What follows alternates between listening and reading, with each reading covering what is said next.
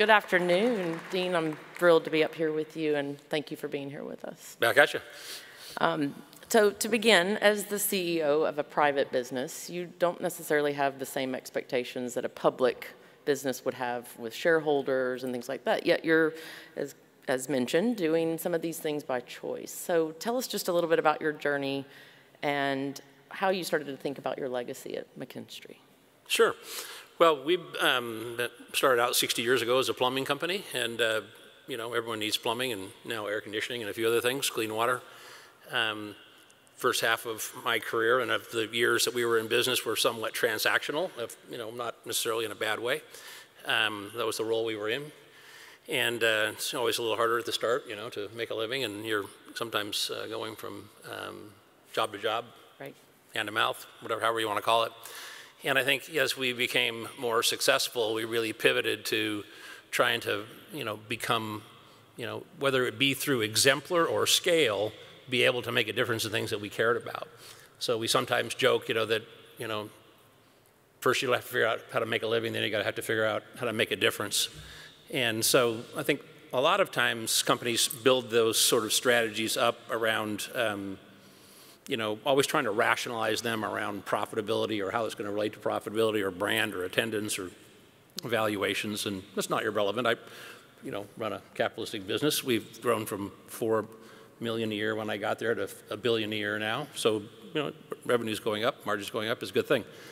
But I think it was really, you know, empowering to think about, you know, getting to spend a fair amount of your life on things that you are passionate about and you care about and that you worry about. And it's very empowering, not only as a leader, but certainly for all of our customers and all of our people. So we've got 3,000 people who get up thinking that they're going to work hard on something they really believe in and that they worry about and they think they're going to be able to make a difference in. And so we don't really do it for profit. Most profit is sort of a consequence of how you do what you do, um, you know, not necessarily the goal.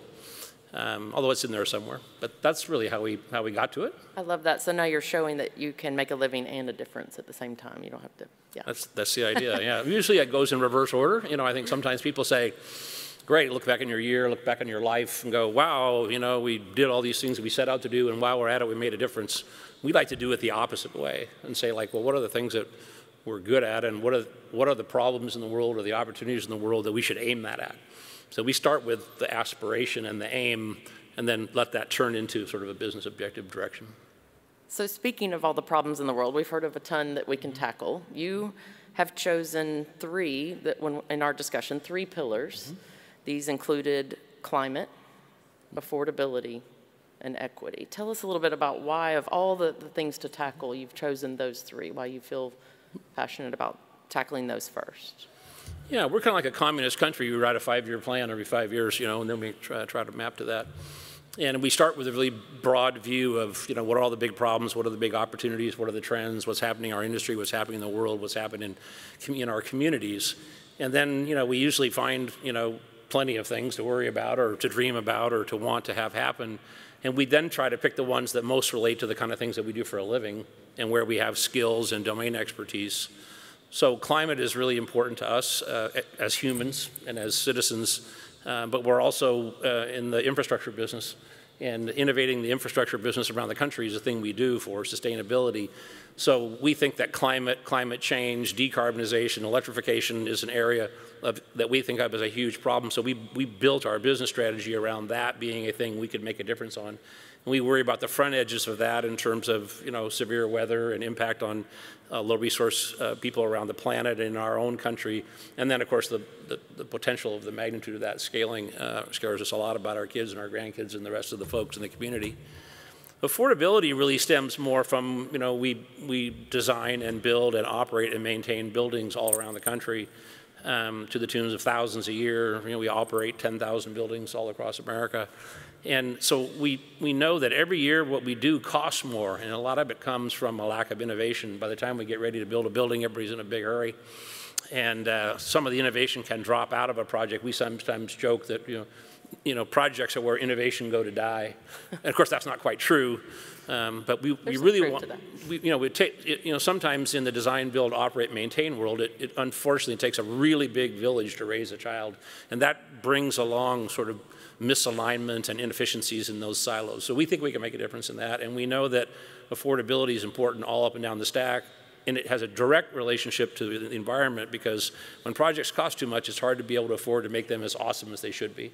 And if we're going to get to zero energy and zero carbon on these buildings, we have to find other things to not spend money on so we can get that done. And then lastly, um, you know, the, we all dream of a fair and just and equitable world. We all work at it, but we all know that we don't have such a thing. And uh, so, you know, we prioritize that because it's the right thing for our communities, and we have a debt of burden of the opportunity we've had and the success we've had to make our company and the industries we work in um, promote equity. Uh, so those are the three things that we build our business plans around, and we work on those as opposed to other drivers that a publicly traded company might have to do in their boardroom. Thank you for sharing those. Uh, so when we spoke and, and met in the beginning, I, I, was really taken by your honesty, your authenticity, and just, you know, in some ways maybe vulnerability that, you know, we're not perfect, but we're trying, you know, and that's hard for, for CEOs. So tell me a Good little bit. Good thing I don't have a boss. As it's here for private companies. Yeah. Why, why honesty is important in this conversation and why collective action is important? Yeah, I spend a third of my time in philanthropy and, and uh, nonprofits, mainly in children's health, education, and global health. And so I, I honed my skills in, in building collective action because the one thing about nonprofits is nobody owns them or everybody owns them. So you have to you have to learn to figure out how to deliver collective action and bring people along in collective action. So our favorite, you know, proverb at McKinstry is if you want to go fast, go alone, but if you want to go far, go together. And so we do occasionally sprint and go fast and uh, grab a couple people and do something really to go somewhere quickly. But our real, the power in what we do is, is never forgetting that we're going to bring everybody along. And that includes everybody at our company and everybody in the communities that, uh, where we work. Um, and, you know, we're working on hard problems and we're, you know, somewhere slightly above average and we're doing our very best. We make plenty of mistakes, but we are passionate um, about making a difference and we uh, have a real sense of urgency uh, in what we do. Again, I love authenticity and just the honesty about, uh, around the, those conversations. And as part of our conversation, we discussed, of course, you know, collective action is important, but it's probably fair to say most people in this room are pretty competitive um, naturally. But you, you mentioned something to me, and I quote Don't surrender the things that make your brand unique, but also don't squander the opportunity for collective action. So, why that? Why this? Well, nobody here doesn't love sport. And, uh, you know, I think sports sometimes um, can be seen as, you know, a, a nice to have as opposed to a must to have in a lot of communities. But I don't think anybody in this room believes that, and I don't, I don't believe that. You know, so I, you know, a big sports fan. You know, I'm from Seattle, so, you know, go Kraken, you go Seahawks, go Mariners, come back Sonics. Um, you know, when, uh, when I think about those organizations and their brand position, you know, they, they're working hard with really bright people to engage their constituencies, their ticket holders and the, and the viewers. And um, and they do it in unique ways and they're competitive. You know, I don't think, you know, yeah. there, there might be some sharing going on in all these leagues, but generally speaking, when they get out on the, on the, on the pitch, they're, they're looking to win.